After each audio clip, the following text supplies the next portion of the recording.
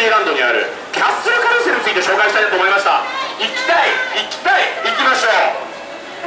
はいやってきましたファンタジーランド。大ちゃん今日は何に乗りたいんだい？どうした？あお馬さんがたくさんいるね。乗りなさい。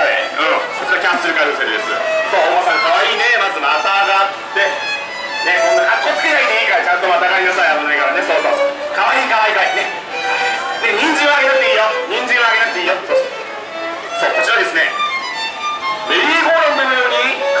しながら動くアトラクションなんですけどもそういう回り方じゃないでしょ大ちゃんもっと大きく回るでしょ。そうそう。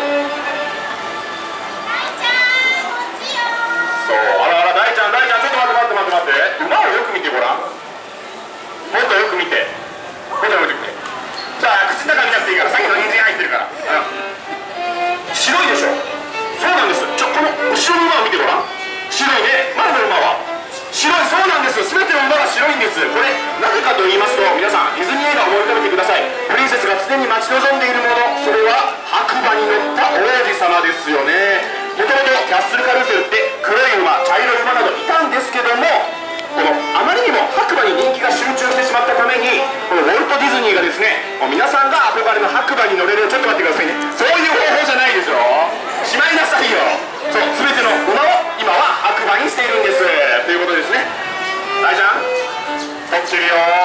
ってるよそうね楽しいねそうこちらですね。ご家族のいい思い出なるのでぜひ写真を撮ってみてください。